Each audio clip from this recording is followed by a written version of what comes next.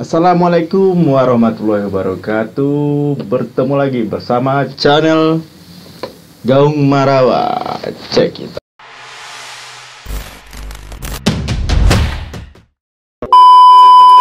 Masih soal musik, kita akan bicara hal yang sedang hangat, sedang tren hari ini di YouTube.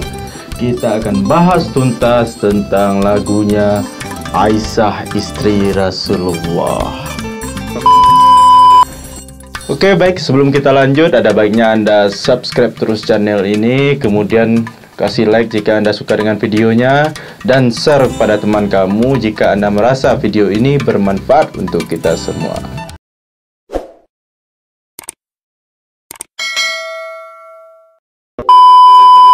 Aisyah istri Rasulullah.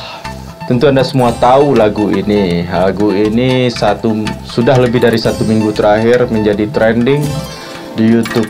Baru kali ini lebih dari 70% trending YouTube mulai dari 1, 2, 3 sampai seterusnya didominasi oleh coveran lagu ini Lagu Aisyah istri Rasulullah. Jadi ada apa sih sebenarnya dengan lagu ini? Kenapa menjadi begitu hits, menjadi trending. Ya. Oke, kita bahas dulu pertama dari segi sejarah lagu ini. Uh, kalau nggak salah lagu ini adalah lagu sebuah uh, band asal Malaysia yaitu Projector Band yang kemudian liriknya diubah oleh uh, juga musisi dari Malaysia yaitu Mr. B menjadi lirik Aisyah istri Rasulullah Kebetulan dia ngubah lirik itu karena istrinya juga bernama Aisyah. Jadi lagu ini sebenarnya didedikasikan buat istrinya.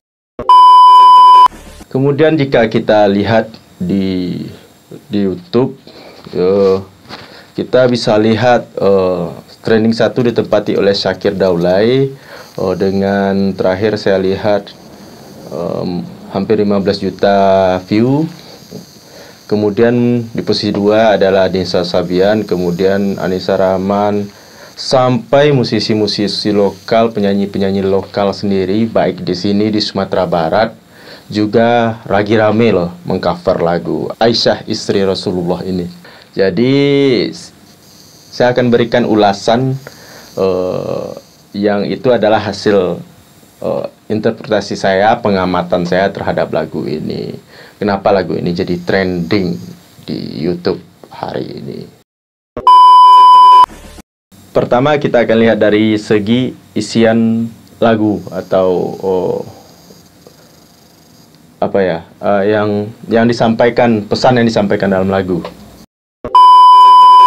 Lagu ini adalah lagu pop dari sirah atau kisah sahabat-sahabat Nabi. Lagu ini ber, bercerita tentang uh, salah satu istri Nabi yaitu Aisyah radhiyallahu anhu yang merupakan putri dari Abu Bakar As-Siddiq dan kemudian menjadi istri Rasulullah. Nah, dalam bait lagu ini juga dibilang dia putri Abu Bakar, istri Rasulullah.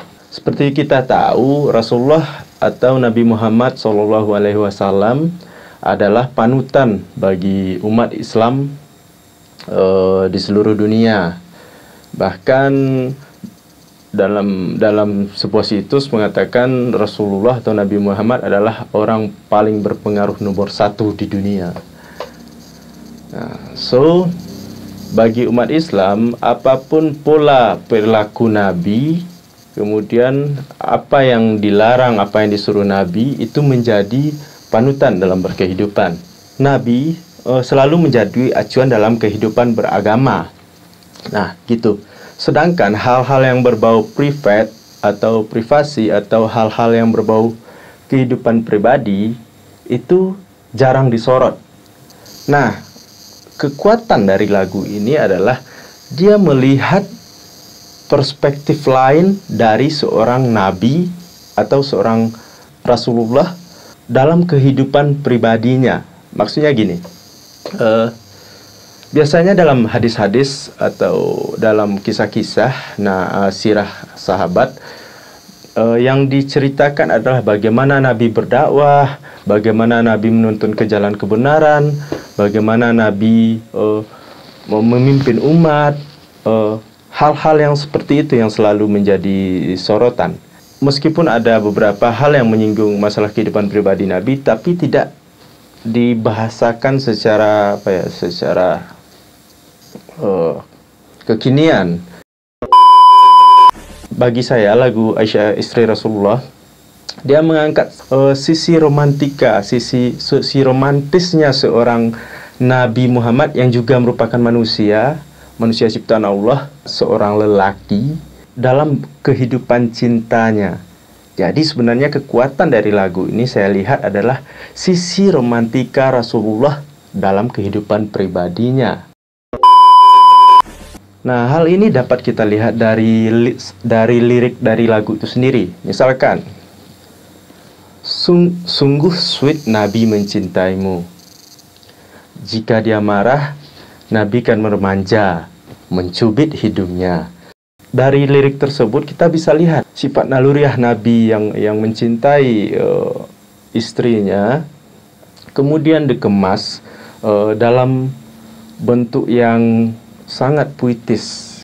Intinya uh, lagu ini menyoroti uh, Nabi Muhammad dan uh, Siti Aisyah dari romantika kehidupan mereka itu.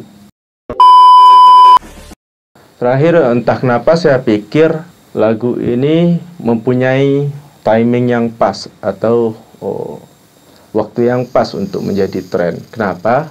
Seperti kita tahu uh, akhir bulan ini kita akan memasuki bulan suci Ramadan. Nah, biasanya kalau saya lihat dari tahun tahun ke tahun selalu ada lagu-lagu oh, Islami yang menjadi jargon-jargon di tiap oh, Ramadan seperti tahun kemarin misalkan lagu Nisa Sabian uh, mengangkat cara salawat ala ala milenial seperti itu. Nah, tapi apakah itu benar atau tidak saya nggak tahu. Yang jelas uh, timingnya ya pas kalau menurut saya pas sekali gitu.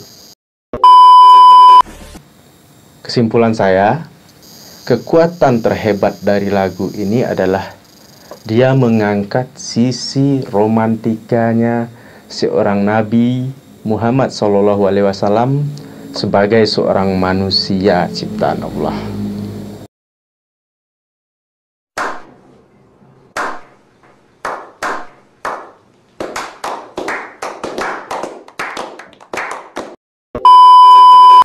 Oke, sekian saja video pendek dari saya. Mudah-mudahan dapat bermanfaat. Terima kasih banyak sudah nonton. Jangan jangan pernah bosan tongkrongin channel Gong Merawa. Mudah-mudahan kita dapat saling berbagi. Jika ada pendapat lain, kawan-kawan bisa tulis di kolom komentar di bawah. Terima kasih banyak. Saya ucapkan Assalamualaikum warahmatullahi wabarakatuh.